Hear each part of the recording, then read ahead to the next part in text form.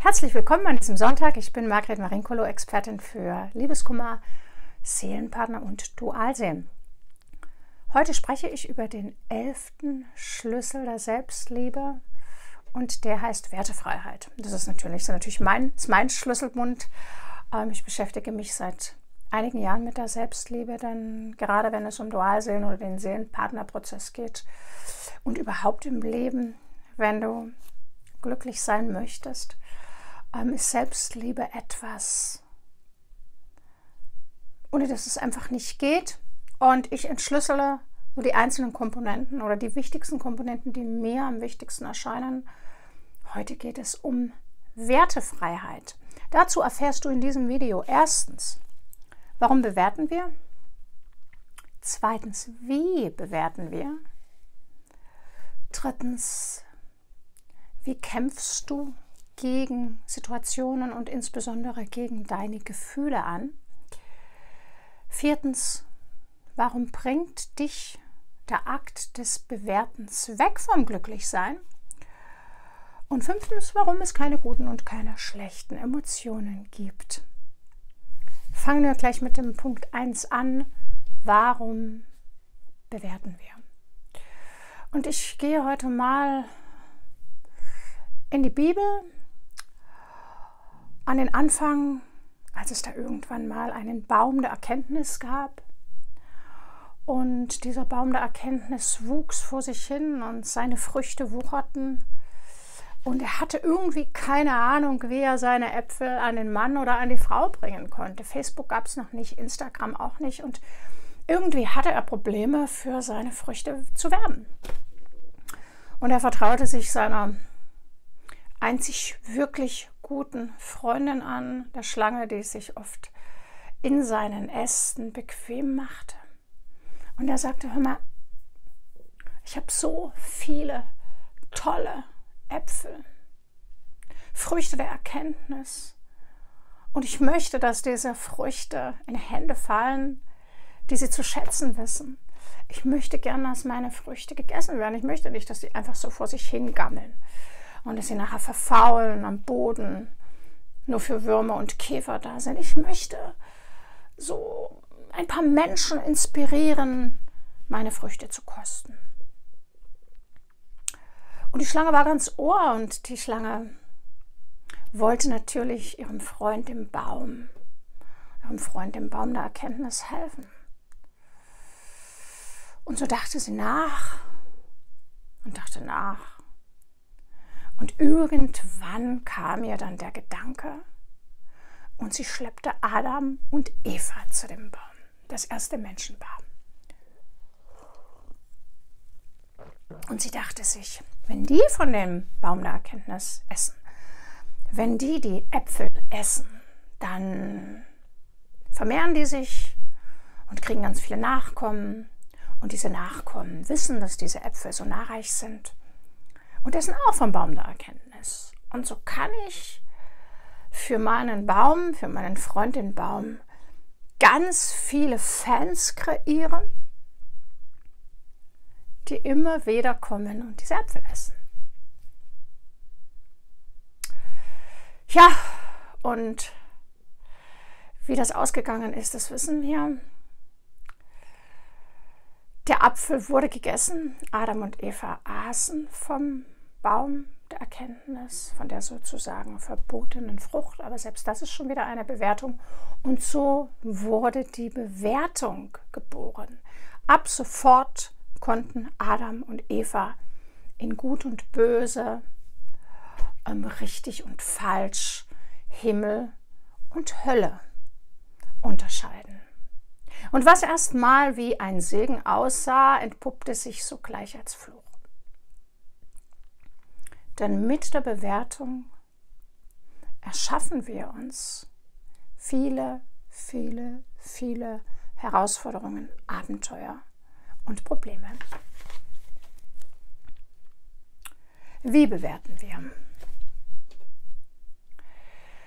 Nun, ich hatte mit sieben Jahren mal eine, ähm, vielleicht war ich auch acht oder neun, ich kann es nicht mehr genau sagen, hatte ich eine ähm, außerkörperliche Erfahrung. Ähm, ich wurde an der Harnröhre operiert und ähm, während der Narkose mh, mm, schwebte ich über meinem Körper und konnte den Ärzten dabei zusehen, ähm, was sie da so mit mir taten. Und ich war weder klinisch tot noch sonst irgendwas, war alles okay. Ähm, ich sah den Ärzten zu und ähm, sprach auch hinterher darüber. Mm, was mir damals geblieben ist oder was mir, was, welche Gedanken ich mir heute mache, also nicht erst heute, sondern seit vielen Jahren, wenn ich mich daran zurückerinnere, dann, dass mein Geist oder mein Verstand nicht auf mein Gehirn begrenzt sein kann. Also dass nicht irgendwo die Gedanken da drin sind und die Gefühle da drin sind oder, oder von dort gesteuert werden, auch wenn es die Geschichte gibt, die wir uns darüber spinnen, hatte ich die Erfahrung, als ich meinen Körper da so liegen sah, voll und ganz präsent zu sein. So, ich habe den Körper gesehen wie etwas, das zu mir gehört, was ich aber im Moment gerade nicht benötige. Und er lag da unten und ich fühlte mich voll in meiner ganzen Präsenz, also voll da, voll im Ich. Ich hatte nicht das Gefühl, den Körper zu brauchen. Und ich konnte trotzdem denken. So, zumindest hat sich das für mich an, so angefühlt. Ich würde denken und ich würde auch fühlen. Ähm, ich war einfach viel freier in meiner Wahrnehmung, weil ich ja über diesem Körper schweben und fliegen konnte. Ich hatte so das Gefühl, ein Schmetterling zu sein, der mm, sich die ganze Sache von außen betrachtet. Da war irgendwie keine Besorgnis oder keine Angst. Es war einfach sehr spannend, ähm, das zu erleben. Und wenn ich heute über, über meinen Geist nachdenke, dann weiß ich nicht wirklich, welche Ausmaße dieser Geist hat. Ich habe keine Ahnung, was, wie groß oder klein und unbegrenzt mein Bewusstsein oder das Bewusstsein ist. Keine Ahnung. Und es ist auch heute sehr schwer, das zu beweisen. Was ich aber weiß, ist, dass wir alle miteinander verbunden sind. Zumindest weiß ich das durch die Physiker, die das schon beweisen können. Und wenn ein Gedanke aufploppt, und du wirklich voll im Gewahrsam bist. Also mal, wenn du dich beim Denken beobachtest, da kommen ja manchmal Ideen, Gedanken, Gefühle angeflogen und die hast du nicht bewusst erzeugt. Das ist nicht etwas, was gerade, was du dir gerade wünschst oder dass du sagst, ich denke jetzt an diese Person. Du denkst vielleicht an eine Person, die von der du seit 20 Jahren nichts gehört hast und im nächsten Moment ruft die an oder steht vor deiner Tür. Also hast du diesen Gedanken wirklich gemacht?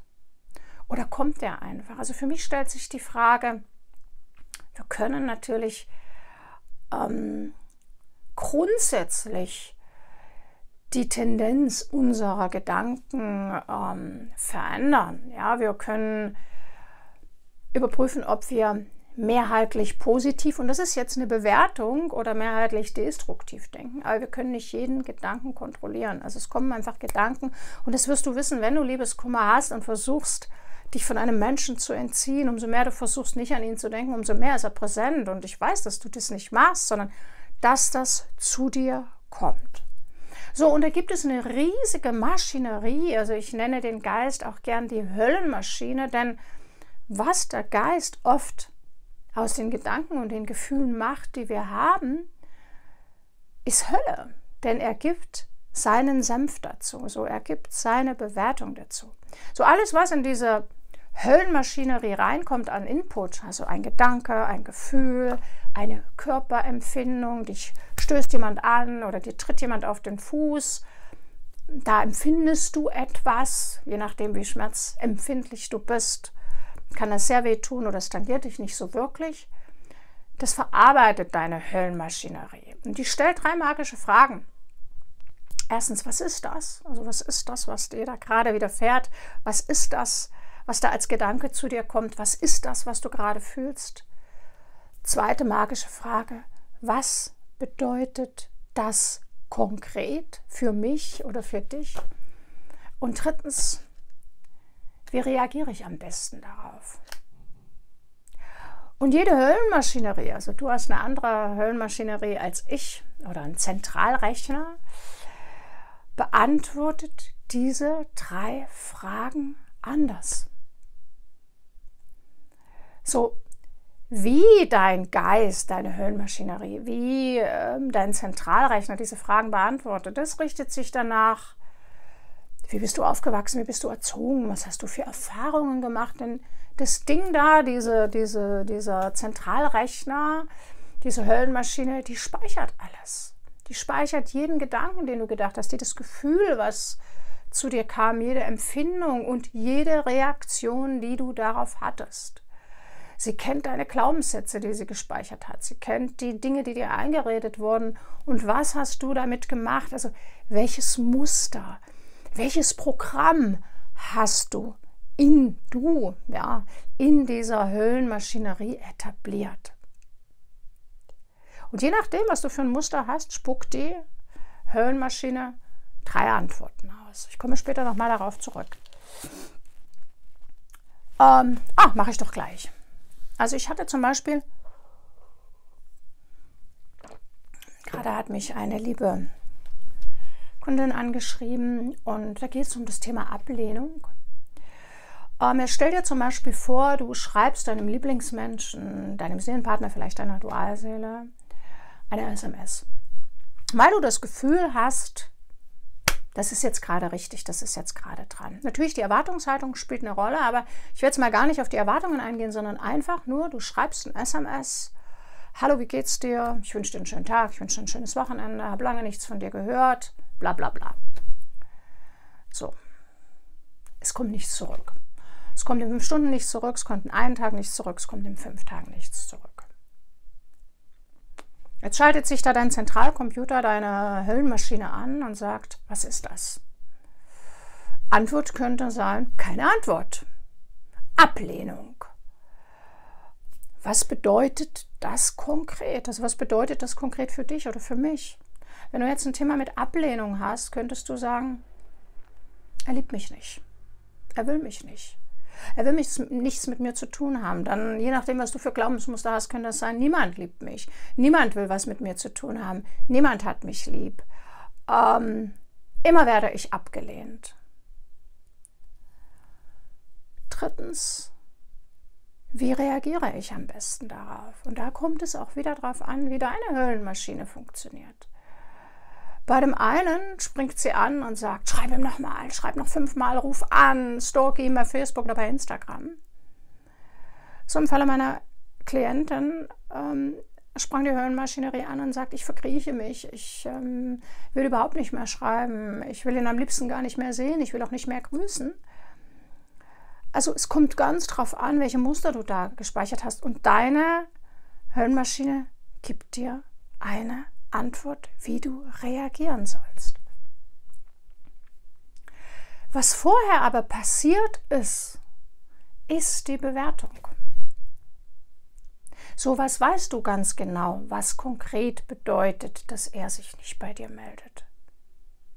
Woher willst du wissen, dass er dich ablehnt? Angenommen, er ist verheiratet oder ist in einer Beziehung und du weißt, er ist in dich verknallt. So, vielleicht ist nie was zwischen euch gewesen, aber du merkst an seinen Reaktionen, wenn ihr euch begegnet, dass er nervös ist, dass er rot wird, dass er sich nicht äh, kontrollieren kann. Du merkst, da sind Emotionen im Spiel und du bist dir eigentlich ganz sicher, dass da etwas ist zwischen euch. Aber er ist vielleicht in einer Beziehung oder er ist verheiratet und er sagt sich, ich bin meiner Frau treu, ich bin meinem Leben treu, ich ähm, spiele nicht mit dem Feuer. Ähm, ich gehe dieser Gefahr aus dem Weg. So, der hat seine eigene Höllenmaschinerie, die ihm die drei magischen Fragen stellt. Was ist das? Ah, eine Nachricht von, jenem, von jemandem, den ich unglaublich anziehend finde, den ich unglaublich sexy finde, jemanden, der mich immer wieder aus dem Konzept bringt. B, was bedeutet das konkret? Gefahr. Meine Ehe ist in Gefahr, mein Leben ist in Gefahr. Wenn ich mich auf diese Person einlasse, dann wird sich alles konkret, alles komplett ändern. Dritte Frage, wie verhalte ich mich am besten? Ich stelle mich tot. Ich antworte am besten gar nicht. Ich lasse es so sein, wie es ist, damit ich mich nicht noch mehr in Gefahr begebe. So, das heißt, dein Gegenüber, dein Seelenpartner, dein Dualseele, dein was auch immer Lieblingsmensch oder der Mensch, den du gerade begehrst, von dem du dir vielleicht etwas wünschst, der lehnt dich vielleicht gar nicht ab. Aber das ist das, was dein Zentralcomputer sich ausdenkt. Das ist deine Story. Das ist etwas, was in deinem, in deinem Geist passiert. Also du kreierst dir eine Story, die für dich passend erscheint. Fakt ist aber, dein Seelenpartner, deine Dualseele, was auch immer, hat eine ganz andere Story, eine ganz andere Geschichte. Dem ist vielleicht sowas schon mal passiert oder der Vater hat sich vielleicht von der Mutter getrennt wegen einer anderen und er will das ums Verrecken nicht. Er möchte seinen Plan vom Glück, den er vielleicht hat, erfüllen und er hält sich einfach nur von dir fern. Das heißt, er lehnt dich nicht ab, sondern er lehnt das ab, was sich möglicherweise aus der Situation ergibt. Verstehst du, das ist ein großer Unterschied. Das heißt, du bastelst dir deine eigene Geschichte oder deine Höllenmaschine bastelt dir deine eigene Geschichte. Und da hast du nicht immer ganz konkret Einfluss drauf. Das kannst du lernen, das kannst du üben. Und trotzdem wird es immer wieder Situationen geben, wo das überhaupt nicht funktioniert, wo keine Technik funktioniert, kein NLP, keine Hypnose, nichts. Wo du immer wieder in irgendwelchen Mustern hängen bleibst. So wie du das auflöst und wie du die Geschichte anders sehen kannst, das kommt natürlich am Ende vom Video. Ähm mir fällt noch ein Märchen ein.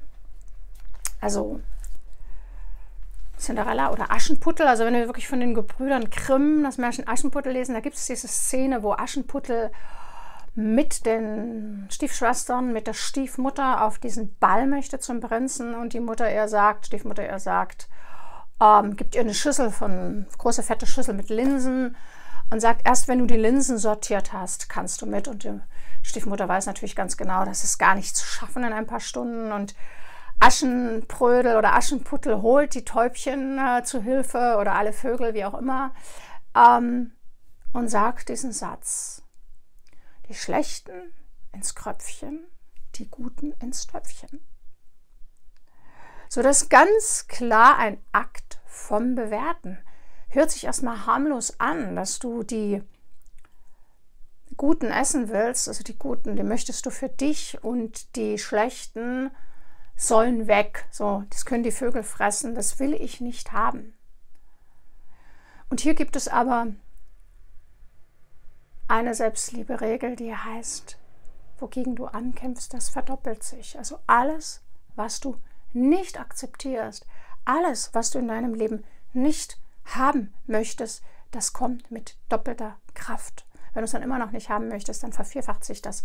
Das ist wie mit dieser Hydra, du schlägst ihr einen Kopf ab und es wachsen zwei neue nach. So, das ist ein aussichtsloser Kampf gegen etwas zu kämpfen. Aussichtsloser Kampf gegen etwas zu kämpfen. Na, du weißt, was ich meine.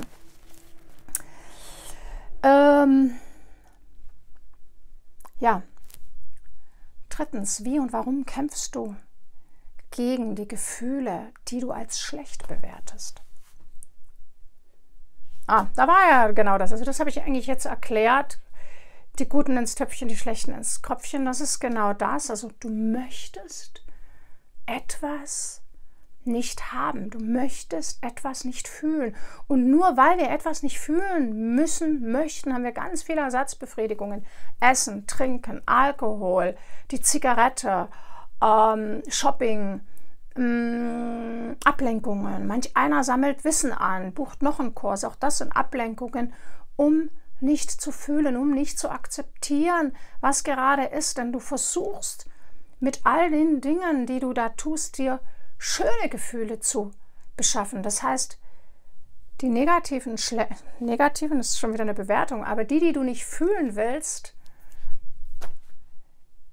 die schiebst du von dir weg oder du versuchst mit aller Kraft dir positive sogenannte Glücksgefühle zu besorgen, zu borgen. Denn im Grunde borgst du dir die, denn das, was du nicht willst, das verdoppelt sich. Also die Angst, der Zweifel, Ähm, das kommt immer, immer, immer, immer, immer wieder zurück zu dir.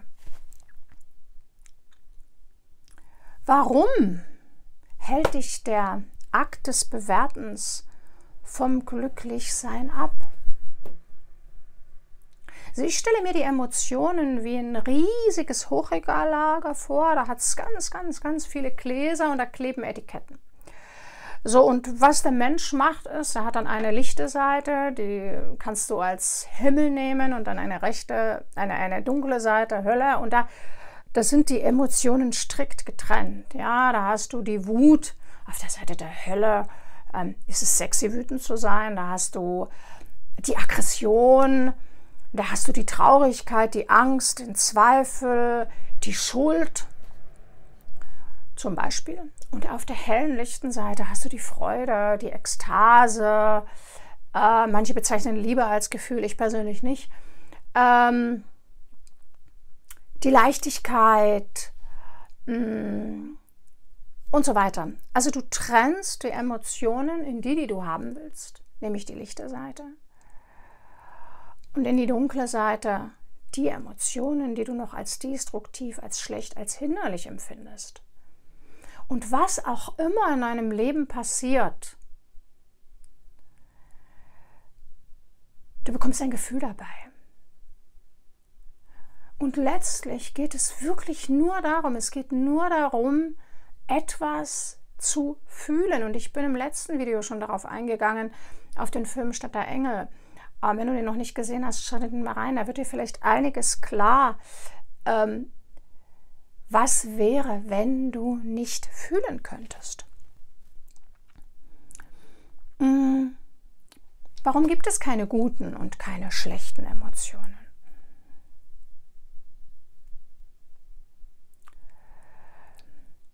Ich persönlich stelle mir die Emotionen oder die Gefühle teilweise so vor wie ein Malkasten, einen riesigen, riesigen Farbkasten. Da hat es ganz viel verschiedene Gelb, Rot, Blautöne, Grüntöne, Grautöne, schwarze, also schwarz ist schwarz, aber also verschiedene Graustufen, dunkelbraun und ein Bild, wenn du dir ein Bild großer Künstler anschaust, dann ist das unwahrscheinlich farbenreich. Und auch wenn jemand hauptsächlich dunkel und düster malt, wirst du auch in diesem Bild verschiedene Farbtöne erkennen können. Also etwas, was starke Emotionen auslöst, das ist zusammengesetzt aus verschiedenen Frequenzen. Das ist bunt. Bunt im Sinne von reich an Extremen. Und das Gefühl oder die Emotion selbst ist nicht gut oder schlecht die ist zum Beispiel scharf oder die ist mild, die ist schnell oder die ist langsam, die ist unglaublich energisch vielleicht. Also du kannst die Emotionen auch wie Gewürze beschreiben, scharf, süß, sauer. Ähm, wir sagen ja auch, ich bin sauer, sauer äh, bitter und so weiter. Und trotzdem machen diese Gewürze ein gutes Essen aus. So die Schärfe in der richtigen Dosierung. Richtig, habe ich schon wieder bewertet. Schärfe, Milde, ähm, Säure und auch Bitterstoffe, all diese Aromen machen das perfekte Essen aus so wäre nichts von dem enthalten, wäre es, schmeckt es einfach nur fade. Und wie lange würdest du das essen? Wie, wie, wenn du deinen Speiseplan anschaust, dann hat er verschiedene Geschmäcker, dann hat er verschiedene Aromen. Also du isst einmal gern vielleicht nur ein Stück Brot, dann greifst du wieder zu was Süßem, ob es dann ein Obst ist oder ein Kuchen, sei dahingestellt. Ähm, aber das macht dein Leben reich. Das macht deine, deine, mir läuft gerade das Wasser im Mund zusammen, nur wenn ich von sauer, süß, ähm, scharf und bitter spreche. Ich esse zum Beispiel sehr gerne scharf. Und so sind deine Emotionen zu betrachten. Oder eine Symphonie. Hör dir eine Symphonie an. Rachmaninoff ist zum Beispiel, wenn du dir da ein Klavierkonzert anhörst. Oder natürlich auch Johann Sebastian Bach, am Beethoven Da gibt es so viele Töne, Akkorde, Dur und Moll. Das macht eine, eine, ein großartiges Kunstwerk aus. Da gibt es nicht nur das Laute, da gibt es auch das Leise, da gibt es nicht nur das Fröhliche, da gibt es auch das Melancholische. Und eine gute Sinfonie, ein gutes Musikstück oder auch im Rock und Pop, das schickt dich durch deine vollen Emotionen. Doch was da passiert ist, du bewertest nicht, du sagst nicht, ah, traurig, ah, fröhlich, ah, Erfüllung, ah, ähm, da ist jemand wütend gerade so im, im, im Song, sondern du fühlst, fühlst, fühlst, fühlst, fühlst, fühlst, fühlst und sagst, wow, was für ein geiles Musikstück. Achterbahnfahrt zum Beispiel. Du steigst ein und es schleudert dich da durch die Kurven, durch die Aufs und Abs und da ist Angst dabei. Dann wirst du sagen, nee, ich habe keine Angst, ich finde das toll.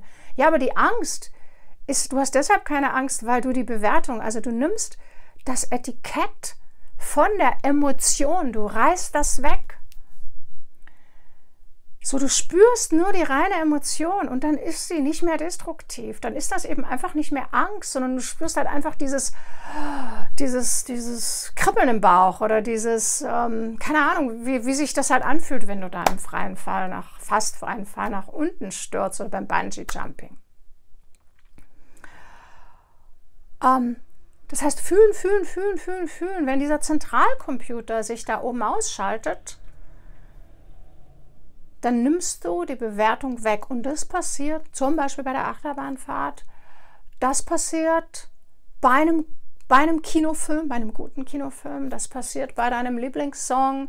Das passiert, wenn deine Lieblingsmannschaft spielt, zum Beispiel beim Fußball. Stell dir doch einfach vor, du gehst ins Fußballstadion, du fieberst schon lange auf dieses Derby deine Mannschaft spielt gegen den Tabellenersten und du wirst hoffentlich, werden sie gewinnen, werden sie sich gut schlagen und du sitzt da und dann der Schiedsrichter, der, der, der, der, Ampfiff kommt. Nach einer Minute ist das Spiel aus 10 zu 0 für deine Lieblingsmannschaft. Das war's. So, du weißt gar nicht, was los ist. Es ist noch gar nicht richtig losgegangen. Der Schiedsrichter pfeift ab und sagt, die haben gewonnen, 10 zu 0. So, deswegen gehst du da nicht hin. Du gehst, weil du auch diese Angst spüren willst, oh, was ist, wenn sie verlieren? Und wenn du dir das, die Attraktionen des Lebens anschaust, die du wirklich gerne machst, die du gerne wirklich besuchst, dann wirst du merken, da ist immer eine unglaubliche Bandbreite an Emotionen da. Warum stellen sich manche Menschen stundenlang an einer Achterbahn an? Wegen diesem Auf und Ab der Emotionen, wegen diesem Rausch der Emotionen. Und was macht dein Zentralcomputer da oder deine Höhlenmaschine? Erstens, was ist das? Nach der Bahnfahrt ist sicher. Zweitens, was bedeutet das konkret? Spaß! So. Drittens, wie soll ich reagieren? Lachen, kreischen, quietschen, stöhnen, ähm, was auch immer, glücklich sein. So, und glücklich sein. Und da komme ich zum Schluss. Glücklich sein bedeutet nicht, auf einer Stufe hier immer diese Emotion zu haben. Das ist wie wenn ein Lied nur einen Ton hat.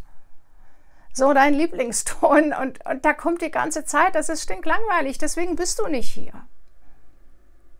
Du bist hier, um dich zu erfühlen, um dich zu erfahren. Du bist hier, um jede Emotion immer und immer und immer und immer und immer wieder zu erleben, zu erfühlen. Nimm die Etiketten weg stell dich vor das Hochregallager deiner Emotionen und immer wenn du denkst, Wut, Scheißdreck, Wut, Etikett weg, fühlen, fühlen, fühlen. Ah, fühlt sich gerade scharf an, fühlt sich turbulent an. Ah, was macht das gerade mit mir? Tschak, und dann stellst du das Glas ohne dieses Etikett wieder in das Hochregallager. Freude, Freude ist gut. Weg damit mit der Freude. Guck, was die mit dir macht. Ah, die wirbelt mich auf. Die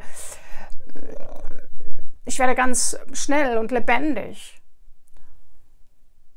Und dann, wenn du mal überall die Bewertung weggenommen hast, das musst du vielleicht ein paar Mal machen, vielleicht nimmst du das Glas, ist wieder das Etikett dran, reiß die Etiketten weg, fühle einfach nur wie bei der Achterbahnfahrt die reine, pure, unverfälschte, nackte Emotion. Und irgendwann wirst du bemerken, dass dein Zentralcomputer andere Fragen, äh, andere Antworten ausspuckt. Was ist das? Ah, die Achterbahnfahrt meines Lebens. Was bedeutet das konkret? Spaß, Freude, Glücksgefühle. Glücksgefühle bei jeder Emotion. Nicht nur bei denen, die du früher als positiv bezeichnet hast. Wie soll ich reagieren am besten? Quietschen, kreischen, weinen, schreien, stampfen, was auch immer gerade angesagt ist, das ist alles erlaubt und glücklich sein. Glücklich sein. Glücklich sein. Glücklich sein ist die Symphonie aus allen Emotionen, wenn du die Bewertung weglässt. In diesem Sinne, einen wunderschönen Sonntag, eine tolle Woche, wenn du das am Montag siehst. Deine Margret. Tschüss.